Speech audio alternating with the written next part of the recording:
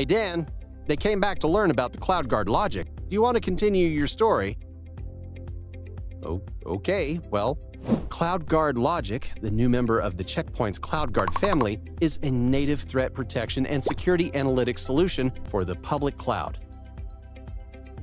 It sets cloud data and activity into context and enables users to detect anomalies to block cloud threats, see every data flow and audit trail in their cloud environments, and expedite forensics.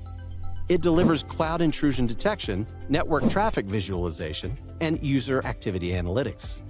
Its object mapping algorithms combine cloud inventory and configuration information with real-time monitoring data from a variety of sources, including VPC flow logs, CloudTrail, Amazon GuardDuty, AWS Inspector, as well as Check Point's threat cloud feeds, IP reputation, and geodatabases.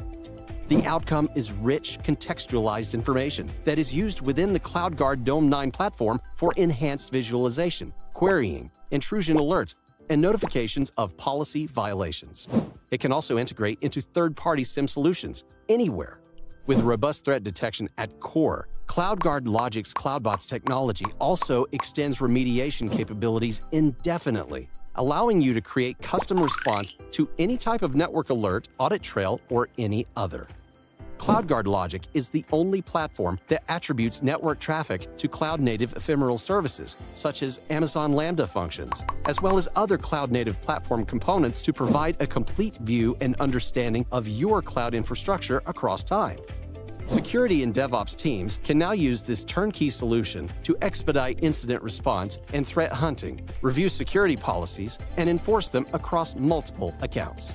And a few words about pricing and packaging. CloudGuard Log.ic currently requires CloudGuard Dome9 platform. It has a consumption-based pricing, starting with 1,000 gigabyte to 10,000 gigabyte of ingested logs and based on how long logs are kept, one month or one year.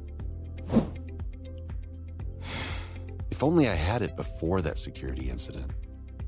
To learn more about CloudGuard Log.ic solution, please visit Check Point website.